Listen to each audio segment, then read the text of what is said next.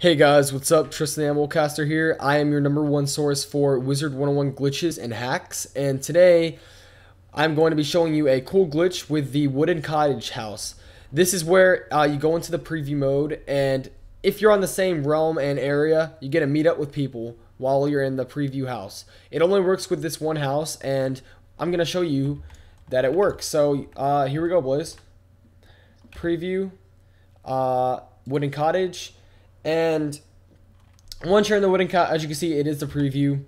You have to be on the same realm and area, like I said, and you have to be inside the house. It doesn't work out here, so go inside the house to meet up with people. And there's Blaze up there. That is the preview house glitch. What works with one house. And yeah, guys, subscribe for more glitches. See you later. Bye.